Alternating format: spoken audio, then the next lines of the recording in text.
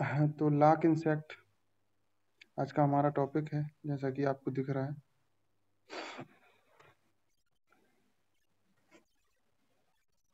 तो लाक कीट इंग्लिश में लैक इंसेक्ट इसका पहले नंबर तो क्लासिफिकेशन देख लेते हैं जैसा कि आप देख पा रहे हैं सबसे पहले क्लासिफिकेशन दिया है। ठीक है? तो क्लासिफिकेशन में सबसे पहले फाइलम है फाइलम है आर्थोपोडा। कौन सा फाइलम? आर्थोपोडा। और इसके बाद दूसरे नंबर पे आप देख पा रहे हैं वर्ग क्लास कौन सा है इसका? वर्ग है इंसेक्टा एंड तीसरा, उपवर्ग या सब क्लास कौन सा है? टेरीगोटा। ठीक है? और गण या ऑर्डर कौन सा है? हेमिप्टेरा। और इसका फैमिली कौन सी है? फैमिली है इसकी लेसीफेरिडी। और इसका वंश इसका वंश कौन सा है? लेसीफर। और इसका प्रजाति या स्पीसीज कौन सी है? लक्का। तो इसका साइंटिफिक नेम क्या हो जाएगा? शिवा बताएँ जरा। इसका वैज्ञानिक नाम क्या होगा? वेरी गुड लेसीफर लखा इसका वैज्ञानिक नाम, जीव वैज्ञानिक नाम बनेगा, ठीक है? आगे चलते हैं। आगे अब देख पा रहे हैं, लिखा है, लाख कीट लाख कीट का जीव जो है, वैज्ञानिक नाम जो लेसीफर लक्का या फिर टेकार्डिया लक्का दो हैं इसके नाम। या तो टेकार्डिया लक्का एंड लेसी पर लक्का यह बेर की, आगे लिखा है, यह बेर की, बबूल की, पलास, खैर, पीपल, अरहर, कुसुम इत्यादि के वृक्षों पर रहता है। तो इसका जो पालन है या ये जो रहता है, वो इन बेर, बबूल, पलास, खैर, पीपल, अरहर, कुसुम आदि वृक्षों पर इसको, ये जीवन यापन करता है या पाला जाता है, यूँ कहें। ठीक है? आगे चलते हैं। आगे लिखा है। आगे है जीवन चक्र, इसका लाइफ साइकिल जैसे कि हमने दीमक में भी देखा था। मुझे कौन बताएगा, जरा बताएँ? इसमें कौन सा वो पाया जाता है? कायांतरण या रूपांतरण? वेरी गुड अपूर्ण कायांतरण जो है, इसमें देखने को मिलता है। ठीक है तो इसका अब बाकी लोग म्यूट हो जाए प्लीज़ एक अकेला ओनली सिंगल रहेगा, बाकी लोग म्यूट हो जाए प्लीज़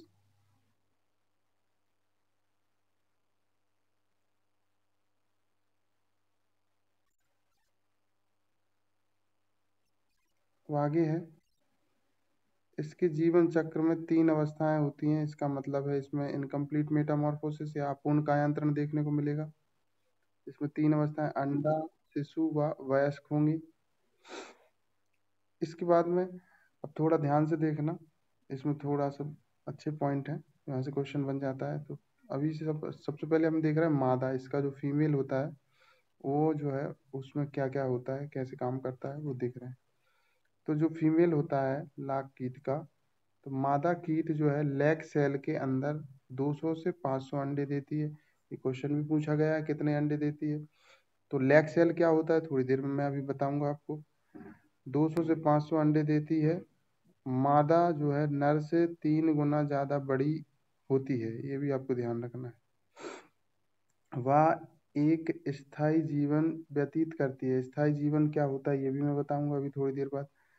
मादा में सिर वक्ष व उदर स्पष्ट नहीं होते हैं। तीनों की तीनों चीज़ें जो है बॉडी पार्ट्स स्पष्ट नहीं होते हैं। पंख, आँखें एंटीना इत्यादि भी अल्प विकसित होते हैं। ये भी कंप्लीट रूप से विकसित नहीं होते हैं फीमेल में, ठीक है? इसके बाद अगला देख लेते हैं हम। अगला है नर। नर या मेल मेल में क्या होता है वो देख लेते हैं। तो नर कीट नर कीट में ये सभी उपांग जो है विकसित होते हैं, ध्यान रखना। मादा में नहीं होते हैं अल्प विकसित होते हैं। नर कीट में सारे उपांग विकसित होते हैं। इसमें शरीर भी जो है तीन खंडों में विभाजित रहता है। एक जोड़ी पंख होते हैं इसमें और तीन जोड़ी पैर होते हैं, जो कि इंसेक्ट के मुख्य लक्षण है। हम पढ़ चुके हैं पहले। इसके बाद लैग सेल क्या होता है, स्थायी जीवन क्या होता है, वो सब चीज़ अपन अब आगे डिस्कस करने वाले हैं। तो डिटेल में हम आगे देखेंगे, लिखा है, मादा जो है अक्टूबर व नवंबर में और तथा पुनः जून व जुलाई में अंडे देती है। तो दो टाइम अंडे देती है, अक्टूबर, नवंबर में और जून, जुलाई में दोबारा से देती है। कुछ खंडे कुछ घंटों बाद अंडे में से निम्फ बाहर निकल आता है। इसमें सुविकसित, छेदने व चूसने वाले माउथपार्ट से अवपांग देखने को मिलते हैं। निम्फ क्या करता है पौधों में? रस को चूसता है व अपनी त्वचीय ग्रंथि से एक पदार्थ निकालता है, रेजिनस पदार्थ, जिसमें कि रेजिन रेजिन होता है ज़्यादा मात्रा में। तो ध्यान रखना है, रेजिनस पदार्थ स्त्रावित करता है अपनी त्वचीय ग्रंथि से, निम्फ, ठीक है? वो जो शरीर के चारों ओर जम जाता है, इस प्रकार निर्मित रचना लैक सेल कहलाती है। देखिए इसका क्या मतलब हुआ। इसका मतलब ये है कि मान लीजिए ये मान लो सपोज़ निम्फ है, किसका? लाख कीट का तो ये निम्फ क्या करेगा? अपनी त्वचीय ग्रंथि से रेगुलरली एक पदार्थ निकालेगा और ये पदार्थ को क्या करेगा? अपने चारों ओर जो है ना, ये लपेट लेगा या फैला देगा तो जिससे क्या होगा? एक स्ट्रक्चर बन जाएगा। जिससे, जैसे मान लीजिए ये है और इसके चारों ओर एक स्ट्रक्चर बन जाएगा, उसको हम बोल रहे हैं लैक सेल या लाख कक्ष। क्लियर है? लाख कक्ष अब लाख कक्ष में चार छिद्र। अच्छा ये लाख कक्ष को और अच्छे से समझाना पड़ेगा। चलिए देखिए लाख कक्ष में ये लाख कक्ष हो गया। लाख कक्ष में ये अंदर उसका निम्फ है, ठीक है? और इसमें चार छिद्र होते हैं तो दो तो श्वसन के आगे होंगे सांस लेने के लिए। एक मुँह का भी होगा आगे, ठीक है? तो कुल मिला के इसमें चार क्षेत्र देखने को मिलेंगे। देखिए, दो श्वसन के हो गए, एक मुख का हो गया और जो है एक गोदा का हो गया उत्सर्जन के लिए। तो चार प्रकार के जो है इसमें क्षेत्र देखने को मिलेंगे, ठीक है? आगे चलते हैं। इस प्रकार ये यहाँ लिखा है, लाख, इसमें लाख कक्ष में चार क्षेत्र होते हैं, दो श्वसन, एक मुख और एक गुदा। छः से आठ सप्ताह बाद इस निम्फ में तीन बार मोल्टिंग होती है व स्थायी जीवन शुरू होता है। देखिए, इसमें एक नया स्पेशल फीचर ये है या इसका नेचर ये है, लाख इंसेक्ट क्या करता है? तीन बार जब उसमें मोल्टिंग हो जाती है छः से आठ सप्ताह बाद तो वो क्या करता है? परमानेंट लाइफ जीना स्टार्ट कर देता है। मतलब कि स्थायी जीवन जिसको हम बोलते हैं। मतलब एक जगह पड़ा है तो वो एक जगह ही रहता है वहीं। आगे नहीं जाता है चलता फिरता नहीं है। क्यों नहीं होता है? उसका रीज़न भी है। क्योंकि उसका जो पंख वगैरह है ना, वो हट जाते हैं। जो लिखा है, चूँकि नर ही उड़ने में सक्षम होते हैं। तो नर तो निकल आता है, क्योंकि नर में तो पंख होते हैं, लेकिन मादा में नहीं होते, हमने ऊपर ही पढ़ा था अभी, जस्ट। तो चूँकि नर उड़ने में सक्षम होते हैं, अतः ये तो क्या लेग कक्ष जो है लैग सेल उससे बाहर निकल आता है? जैसे मान लीजिए, अगर ये मेल है और फीमेल दोनों लेग सेल के अंदर हैं तो अगर ये मेल है तो तो निकल आएगा, क्योंकि इसमें पंख होते हैं, बाहर निकल आएगा। लेकिन अगर इसकी जगह अगर ये फीमेल है तो फीमेल निकलेगा नहीं, क्योंकि इसमें पंख और पैर वगैरह जो है नहीं होते हैं, ठीक है? तो ये स्थायी जीवन केवल मादा व्यतीत करती है, ये आपको ध्यान रखना है, ठीक है? तो इसमें लिखा है, चूँकि नर ही उड़ने में सक्षम होते हैं, अतः ये लाख कक्ष से बाहर आते हैं, व विभिन्न मादाओं से मैथुन करते हैं, ठीक है? मैथुन के पश्चात ये मर जाते हैं। देखिए मेल का भी कोई ज़्यादा खास रोल नहीं है। जैसे मान लीजिए, अगर ये फीमेल का लैग कक्ष है और ये मेल का लैग कक्ष है तो ये केवल बाहर तो निकल आएगा। बाहर निकलने के बाद इससे मैथुन कर लेगा। मैथुन करने के बाद तुरंत मर जाता है फिर। ठीक है? मैथुन करने के बाद जो है, ये मर जाएगा। है ना लाख का मतलब कि नर का भी कोई ज़्यादा स्पेशल वो नहीं है। केवल मतलब जनन करना मुख्य काम है इसमें। ठीक है? क्लियर? चलिए, आगे चलते हैं। आगे।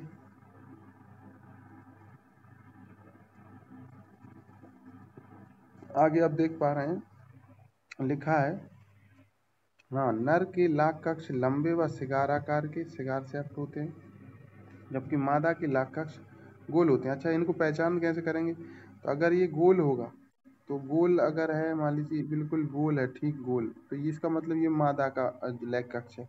और अगर लंबा है इस टाइप से तो ये इसका मतलब ये नर का लैग कक्ष है, ठीक है? सिगार सेप्ट होता है अलग अलग होते हैं। ये नर का है, ये मादा का। मादा का विक्रम गोल होता है लैग कक्ष, ठीक है?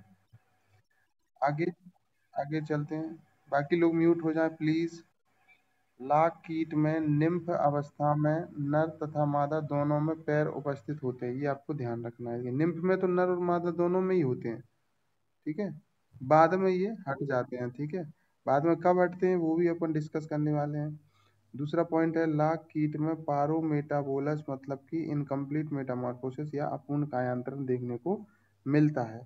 आगे लिखा है निम्फ में निम्फ में जब पहली बार मोल्टिंग होती है, उसके दौरान नर व मादा दोनों अपने पैर, एंटीना त्याग देते हैं। ये है काम का फैक्ट यहीं से हमारा वो अलग होता है। तो होता क्या है? होता कुछ नहीं है। जब निम्फ में होता है तो निम्फ में तो दोनों दोनों में पैर वगैरह उपस्थित होते हैं, नर व मादा में। लेकिन जब पहली बार जब मोल्टिंग होती है तो क्या होता है? पहली बार मोल्टिंग के दौरान नर और मादा अपने पैर भी त्याग देते हैं, एंटीना भी त्याग देते हैं।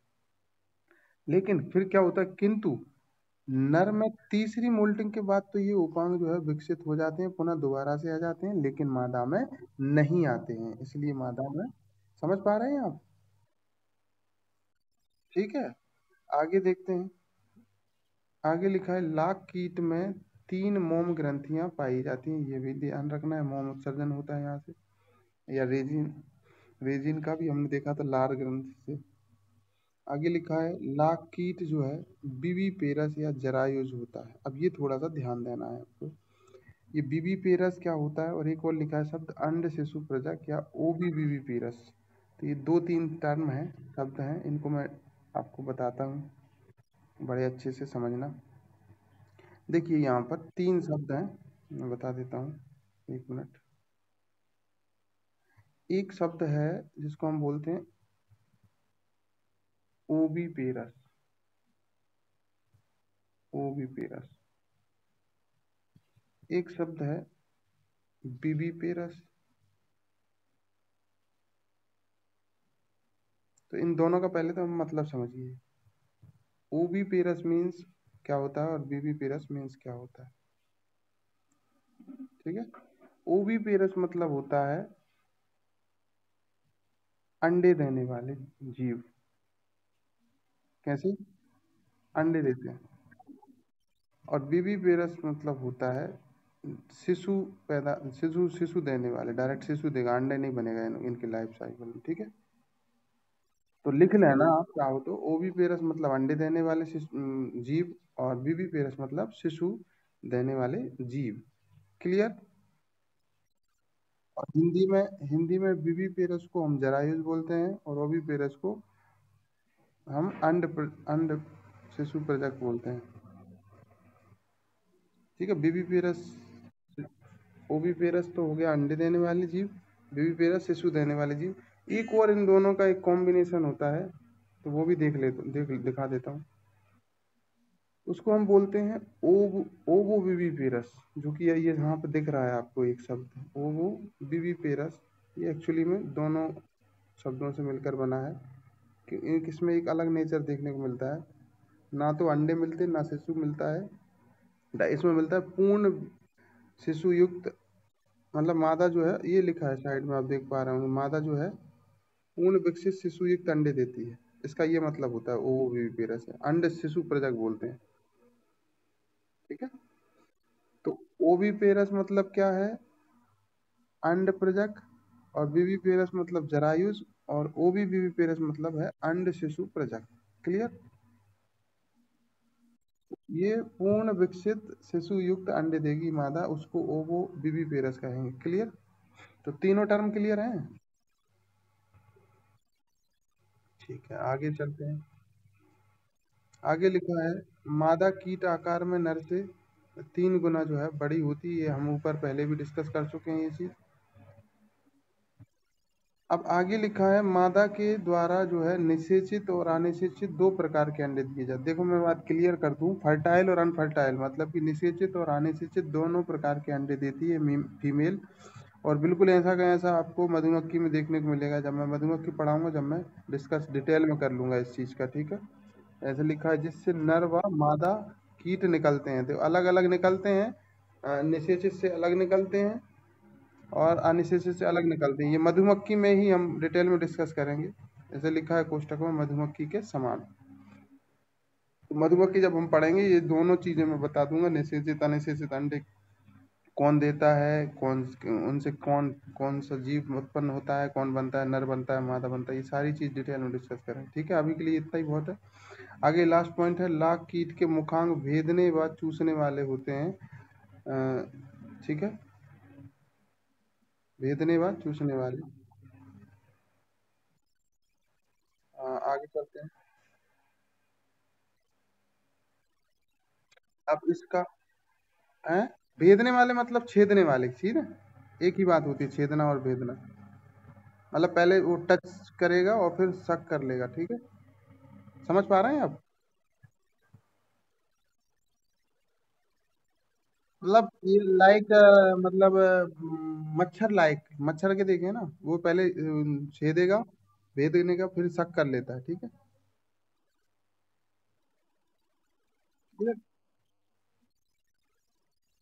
अब ये हमारा आगे चलते हैं। इकोनॉमिकल इम्पोर्टेंस अगला बचा है। आर्थिक महत्व की, कि लाख कीट का हमारे जीवन में क्या आर्थिक महत्व है? क्यों हम इसको पालें? क्या इससे बेनिफिट है? ठीक है तो आगे देख लेते हैं। विश्व में सर्वाधिक लाख उत्पादन भारत करता है। खुशी की बात है।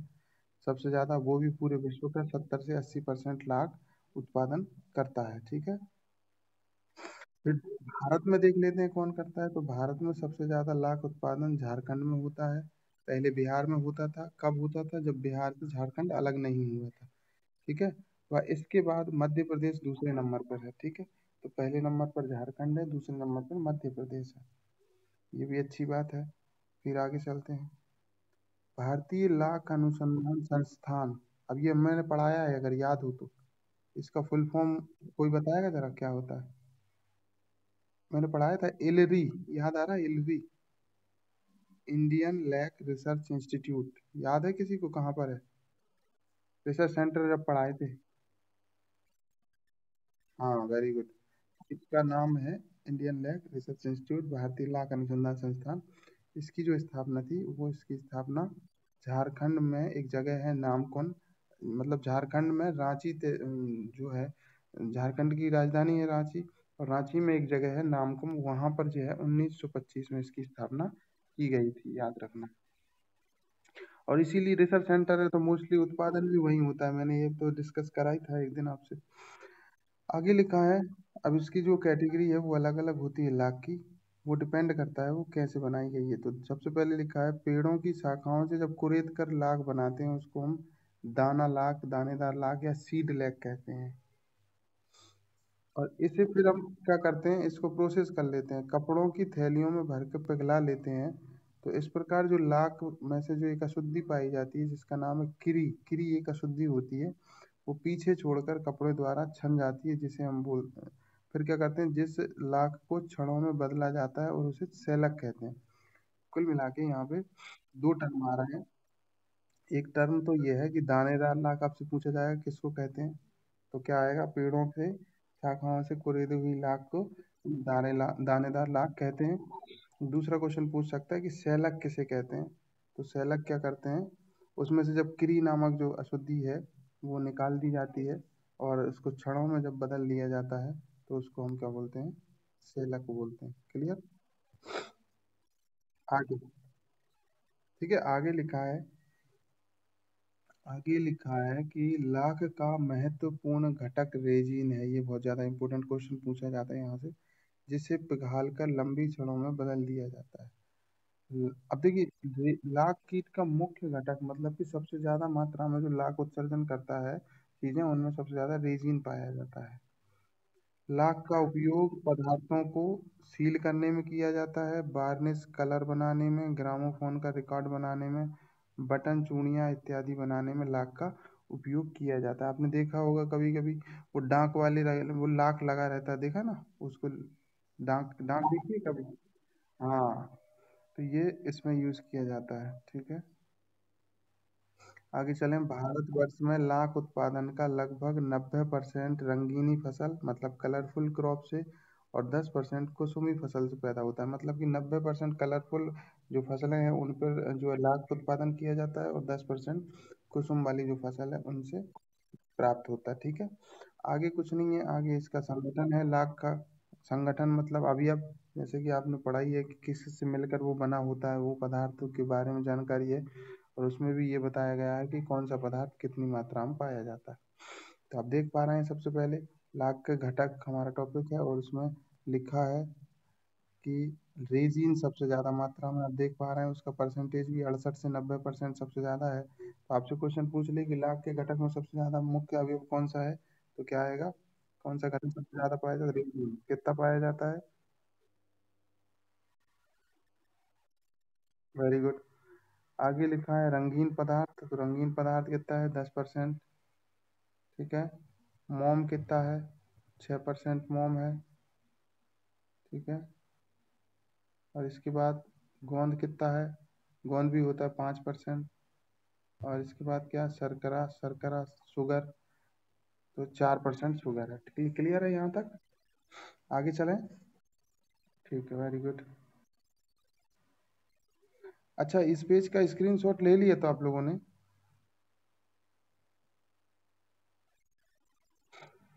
नहीं लिया।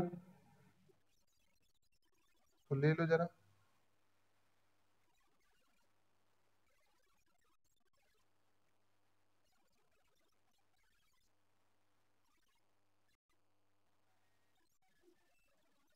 वेरी गुड चलिए, अब आगे चलते हैं। अगला, आगे। इसमें कुछ नहीं बचा है ज़्यादा बस ये थोड़ा सा और बचा है बाकी दीमक तो हमने कल डिस्कस कर ही लिया था। ये बचा है लाख की किस्म बची है, कितने प्रकार की लाख जो है, होती है और उसके क्या लक्षण होते हैं, क्लियर? एक तरफ़ लिखा है लाख की किस्म और एक तरफ़ लिखा है उसके लक्षण, ठीक है? तो लाख, अब इसमें चार कैटेगरी है, एरी लाख होती है, एक स्टिक लाख होती है, देखिए अलग अलग कैटेगरी है। एक एरी लाख है स्टिक लाख है, दाना लाख है, धूल लाख है, चपड़ा लाख मतलब कि चार पाँच कैटेगरी है। आप देख पा रहे हैं, एरी लाख, पहला कौन सा है? एरी लाख। दूसरा, स्टिक लॉक। तीसरा, दाना लाख। चौथा, धूल लाख। पांचवा है, चपड़ा लाख। ठीक है? सुधार लेना अगर दिख नहीं रहा हो तो। बाकी आपको मैं बता दूँ एक चीज़ और। देखिए लाख किसको बोलते हैं? जब कच्ची अवस्था फ़सल पकने से पहले काट ली जाती है मतलब कि फ़सल पकी नहीं है, उससे पहले जब लाख काट ली जाती है, तब उसको एरी लाख बोलते हैं।